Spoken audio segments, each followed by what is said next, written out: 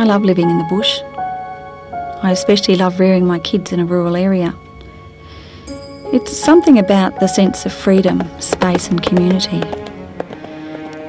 But distance can be hard when you have a serious illness.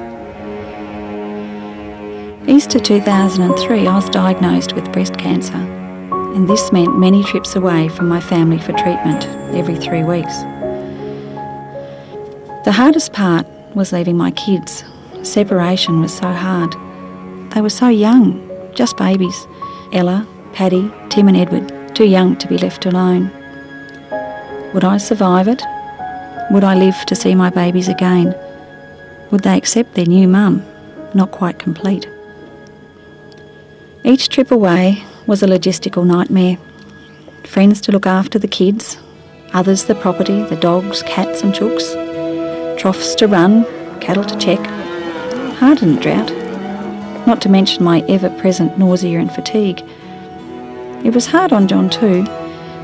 He was so busy carting water and earning much needed money off farm. By the time I was coming good, it was time for me to do it all over again.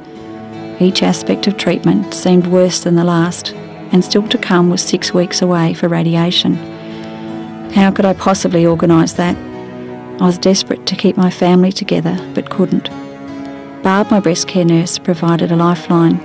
She closed the distance, made the isolation easier, and when I was racked with chemo pain, she even organised drugs to be delivered home on the school bus.